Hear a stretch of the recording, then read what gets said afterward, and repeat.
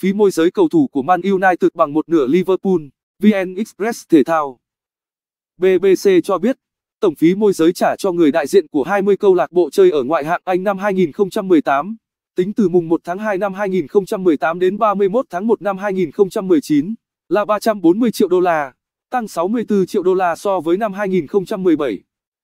Liverpool là đội chi nhiều tiền môi giới nhất, chủ sân Anfield mất 57 triệu đô la để bôi trơn các hợp đồng mua bán.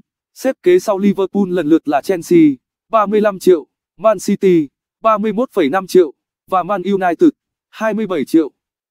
Liverpool là đội hoạt động mạnh nhất trên thị trường chuyển nhượng một năm qua. Họ biến Virgil van Dijk, Alisson Becker trở thành hậu vệ và thủ môn đắt giá nhất thế giới ở thời điểm chiêu mộ. Bên cạnh bộ đôi này, The Cop còn kích hoạt nhiều bom tấn chuyển nhượng khác như Naby Keita, Fabinho.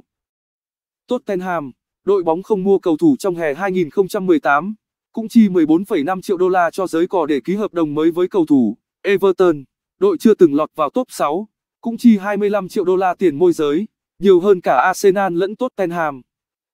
Việc nổ nhiều bom tấn chuyển nhượng khiến ngoại hạng Anh phải chi nhiều tiền môi giới hơn. Dù tổng số tiền 20 đội bóng ở hạng cao nhất xứ sương mù tiêu vào thị trường chuyển nhượng giảm 650 triệu đô la so với cùng kỳ năm trước. Cùng với đà tăng của giải đấu cao nhất, 24 đội ở giải hạng nhất Anh cũng chi hơn 65 triệu đô la cho giới cò cầu thủ. Nhiều người thấy choáng vì số tiền mà các câu lạc bộ chi cho những người đại diện, đặc biệt khi những giải đấu thấp hơn ở nước Anh đang gặp khó về tài chính.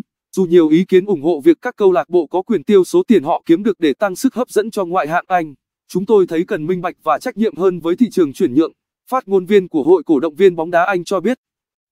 Thắng Nguyễn